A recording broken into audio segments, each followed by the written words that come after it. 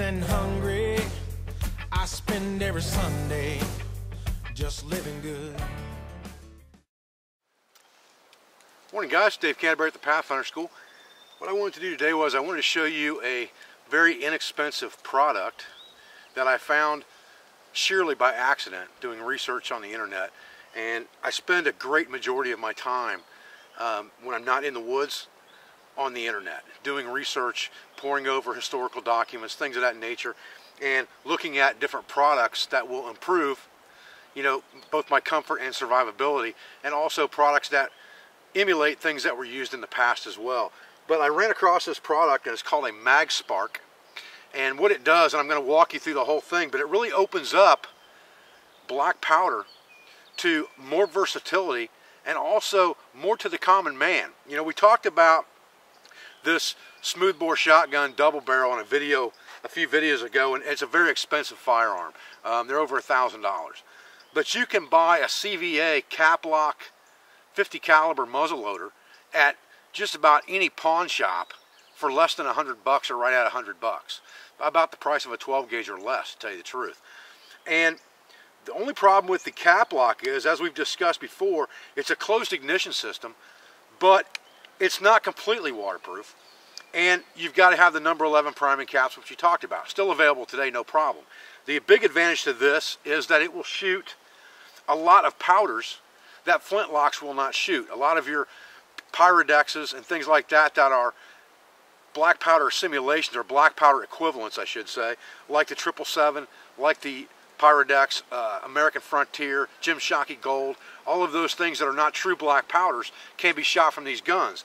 Very reliable through the cap lock or percussion cap system without a doubt. But you can make that even more foolproof. Okay guys, so this product is called the MagSpark.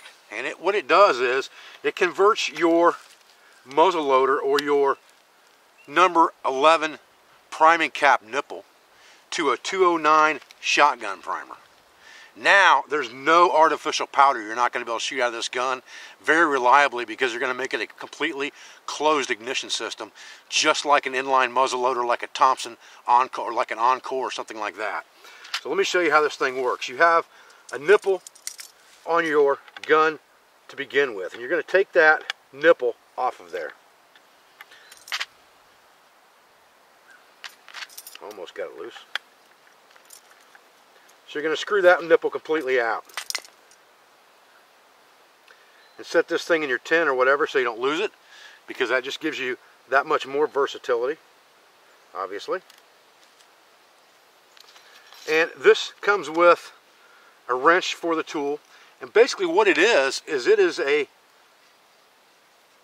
well, per se, that a 209 shotgun primer fits in that replaces your nipple. So instead of having the nipple, you have a well. And you put that well in the exact same spot. And this comes with an Allen wrench to screw it in because the channel inside there is an Allen wrench opening.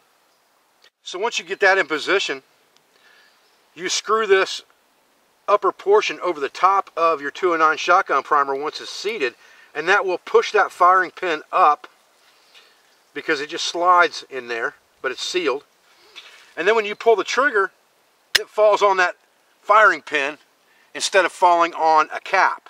Now you have a completely enclosed waterproof system that works exactly the same except now you can shoot 209 shotgun primers. So now you've got the ability with this gun to shoot 209 shotgun primers or number 11 capping primers.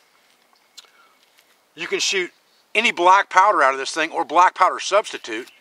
And if you've got a smooth bore, you can shoot any type of shot you'd like to shoot. So that makes this gun almost as versatile in the long run as a single shot 12 gauge, other than the fact that I can't shoot modern powder out of it. I wanted to give you guys a real up close view of this real quick before we load it. And you can see that now we have just a well there that our 2 and 9 shotgun primer would sit into. So if we take one of our 209 primers, these happen to be triple sevens for black powder, but you could use any any 209 shotgun primer in this. And you just drop that down in the well, just like that.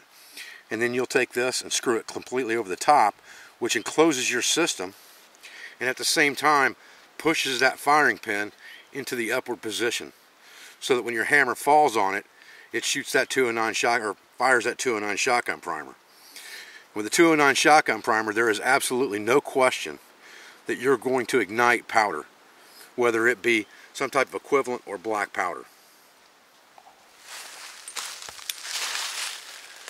Okay guys, I thought I'd just kind of give you a little over the shoulder here of this. And you can see that I've got my 209 primer seated in there on half cock and the firing pin is up on that device.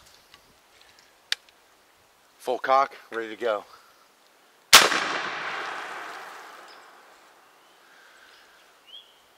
Not bad, boys. Not bad.